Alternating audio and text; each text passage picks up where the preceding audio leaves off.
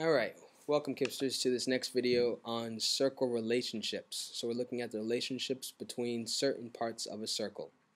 Uh, bringing back what the definition of a circle is, is it is a set of points that are the same distance, we call them equidistant, from the center point. And looking at this circle, the part of the circle that I'm highlighting right now is the radius. The radius is the line segment that goes from center to any point on the circle. I could draw another radius right here, or another radius right there.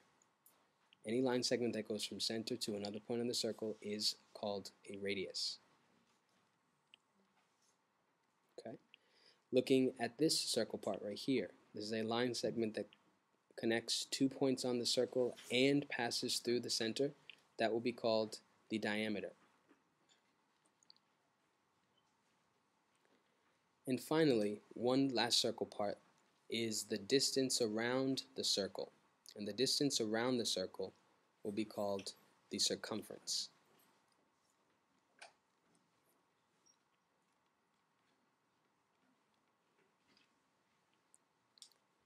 And so once we know what those parts are, there's actually a really interesting relationship between the radius and the diameter, as well as between the diameter and the circumference. And we'll quickly see the relationship by looking at a diagram that we're going to make right now.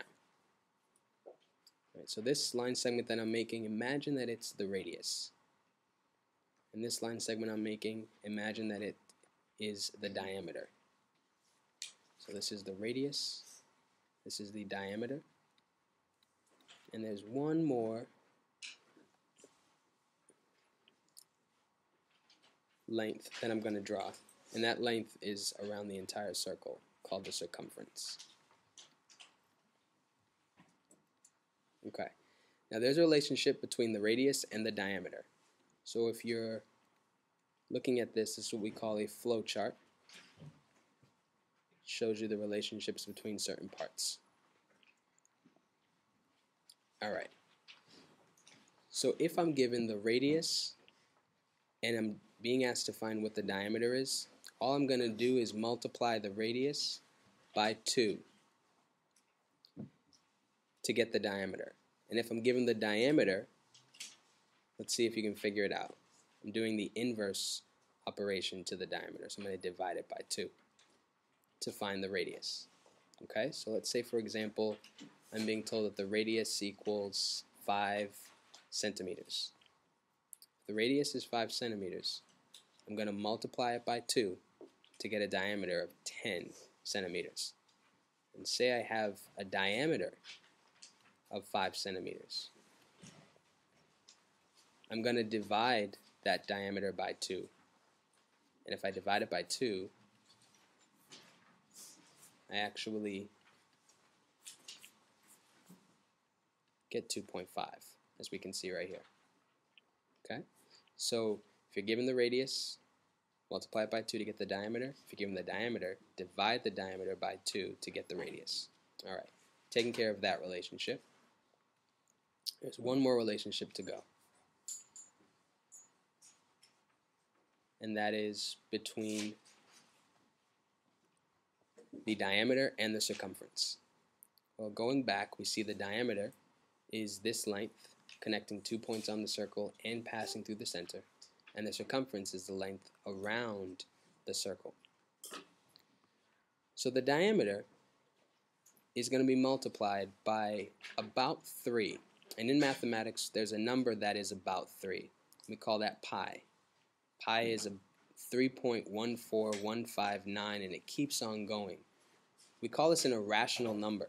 An irrational number is a number that cannot be expressed as a fraction um, and does not repeat uh, in terms of its decimal patterns, and it never ends.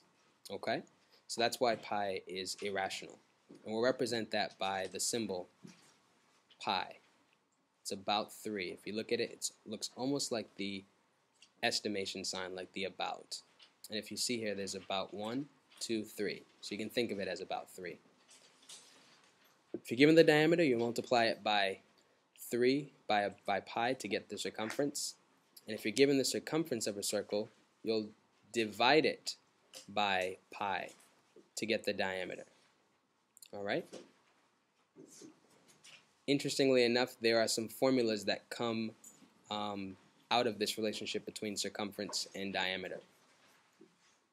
Diameter is about um, is about three times less than the circumference. So if you're trying to find the circumference and you're given the radius, you will multiply the radius by 2 and then you'll multiply that by pi to get to the circumference. So the formula is 2 pi r.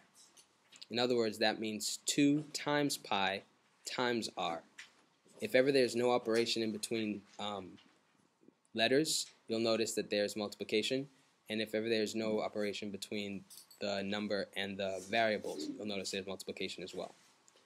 So this is the formula 2 times pi times r. You can see the pattern here. If you're given the radius, multiply it by 2, then multiply it by pi. If, however, you're given the diameter, then 2 times the radius is the diameter. So all you're going to do is multiply the diameter by pi, and you'll get um, what your circumference is going to be. All right? Those are the relationships that we'll talk about for now and hope you enjoyed this presentation on relationships between circle parts. Thank you.